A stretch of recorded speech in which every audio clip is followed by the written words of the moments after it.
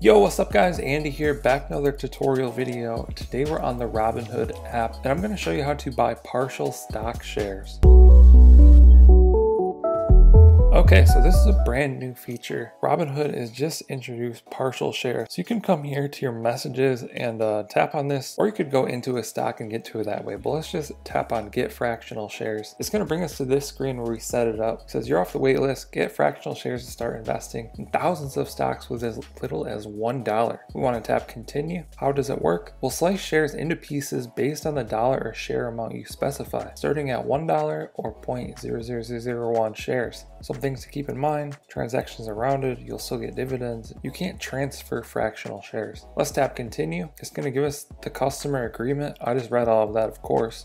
Tap accept. Welcome to fractional shares. Start investing in thousands of stocks like Apple, Disney, Amazon with as little as $1. Tap done. So now we should be good to go. We should be in. Let's go ahead and go to the stock screen and try and do a purchase. Also, while we're here, if you guys sign up using my link in the description, we can both get a free stock worth up to $500. So a lot of people have been signing up using this, getting free stocks, and it's working out well. So we'll go to my list here with some stocks that I'm interested in. Let's just go to Twitter. We'll try and buy 0.1 shares of Twitter. So I'm gonna tap buy it says I can buy in dollars. With fractional shares, you can choose the dollar amount you want to invest. You can always switch this later. So I can buy in dollars or buy in shares. So I'm going to tap buy in shares because I think that's easier. And now we get the decimal icon on this keyboard here. Before there was no decimal icon. Let's go ahead and tap the decimal, tap one.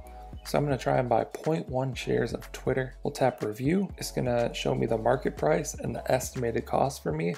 Then I just swipe up to continue. Order received, done, order completed. Just like that, I bought 0.1 shares of Twitter. Now you can see my stocks in my portfolio. So I have one share of Snap, one share of Coty, one share HPE, and 0.1 shares of Twitter. And likewise, you could sell fractional shares. I'm gonna tap trade, I'm gonna tap sell. I'm gonna sell 0.1 shares of HPE. So I'll tap 0.1. So it'll give me the details there, market price 1014, estimated credit, $1 one cent. I'm gonna tap review and then swipe up to submit that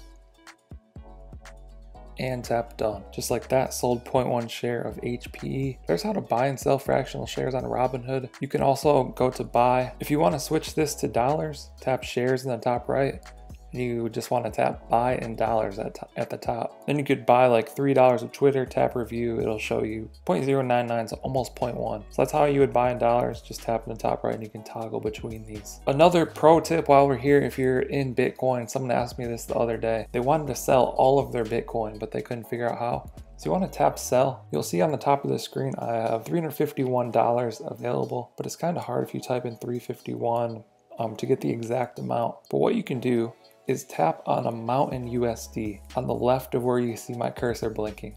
So then you'll be able to toggle between Bitcoin and USD. So you could go to amount in Bitcoin and then just type in the exact amount that you see at the top of the screen up there. 0.03635 BTC. That's what you would type in and then you would be able to sell all of it exactly. So there you have it some tips for the Robinhood app. I hope you guys found this video helpful. Be sure to drop a comment down below if you have any questions. I'll try and answer those. Like and subscribe if you want to see more tutorials like this and more experiments using Robinhood and Cash apps and other investing apps. Thank you guys for watching. I'll catch you in the next one. Okay. Don't blame your problems on the past.